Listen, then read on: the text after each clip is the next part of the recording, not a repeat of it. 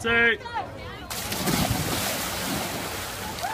Well, to me, it started as a training program, but it's become my family. I'm so much fitter than I was before.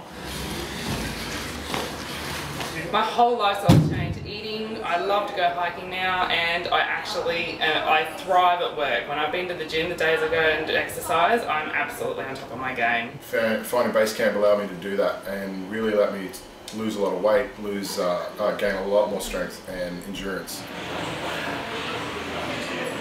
Like every single step and every movement I used with an ice axe and crampons felt like something I'd done before, and that was purely because of the training that I've been given. I started when I started with Basecamp, I was 113.5 and now I'm down to 96.